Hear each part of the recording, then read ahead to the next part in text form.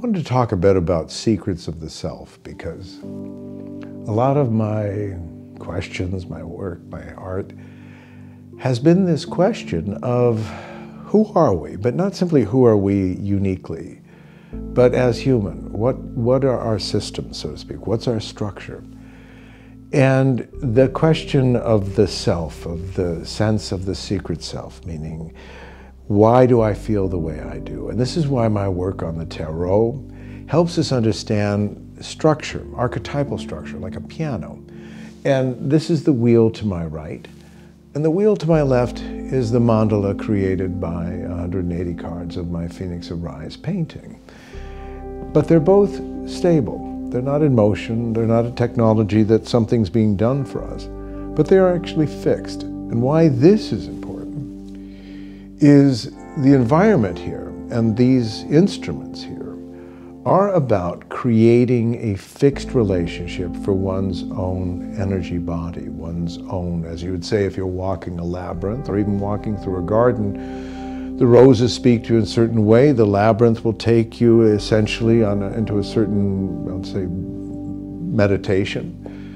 And part of the, the narrative of the secrets of the self going into our depth is that much of the concern of who we think we are is that we're forced because we can't remember that we're an instrument. We can't remember that we are composed of a structure that if we begin to ask the right questions, and this art is now not a concept. I'm not speaking conceptually. This is a manifestation, meaning we're looking at literal structure. And if we begin to understand our psyche, that a picture language and a structure helps us communicate not simply with our intellectual or our self-reflective self, but the pattern self. This is why much of the construct that helps us deal with mental um, difficulties is why mandalas, why the, the pattern becomes so significant, is because the brain is composing that more deeply than the eyes, meaning the eyes are looking, trying to figure out.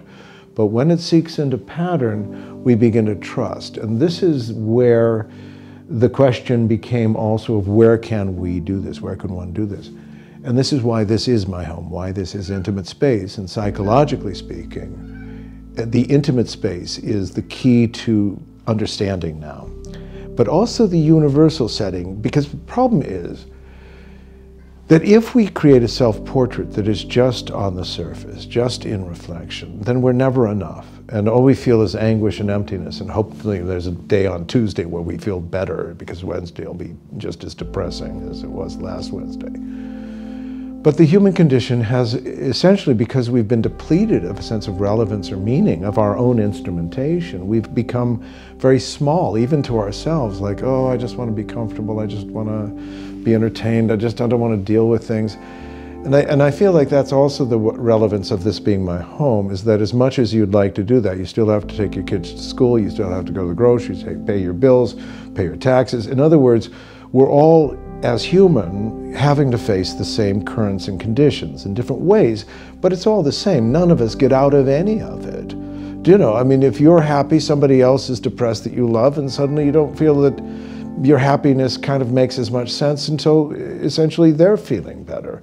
So, uh, but I feel like the whole theater in this world now is that the exhaustion going on, the sense of futility going on is the world saying, look, if you can't trust anyone or anything, then who can you trust? Well, maybe it's you.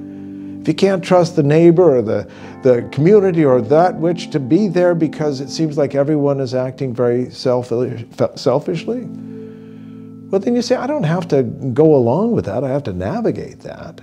But maybe I have to think from where I live, from my heart. And that's why the art here came from that level.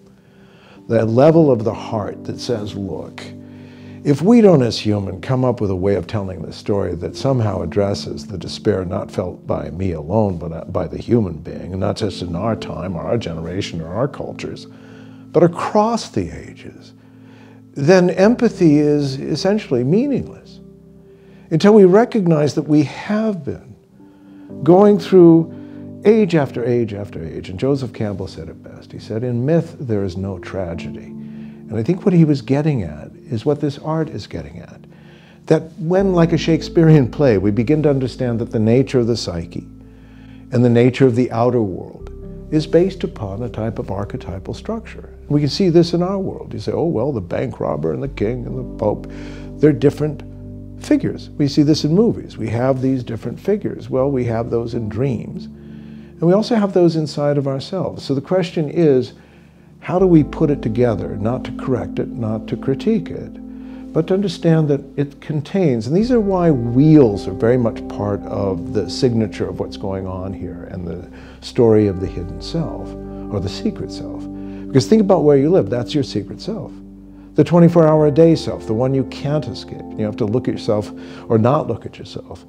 But this is what and why the anguish can't be solved by entertainment or drugs or escape because we have to live with ourselves. And so the structure here is if we understand the archetypal nature, we understand the black and white. We understand that, like Joseph Campbell again would, would really teach, that if you begin to see that the mythic structure of our lives are not personal, we're all on a unique hero's journey. We're all trying to find meaning. But then when you look at the library, when you look at the instrument, you realize it's not to figure it out for others.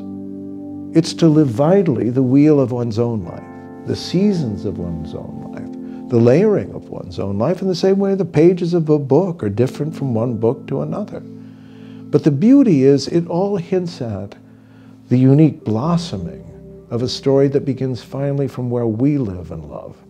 If you think of a blossom, you think of art.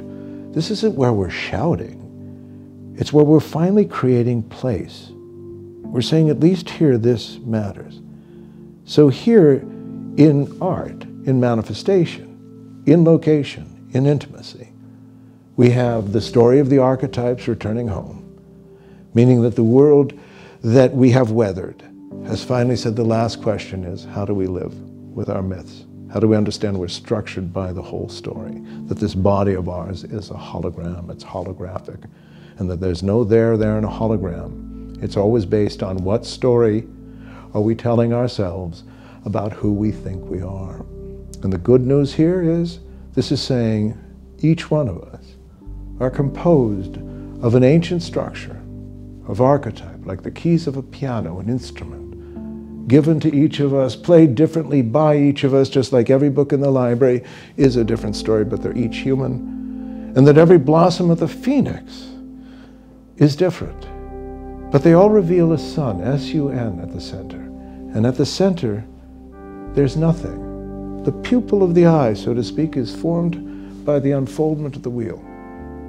So, what if that's our story? We don't know why or how, but we enter into the wheel of time.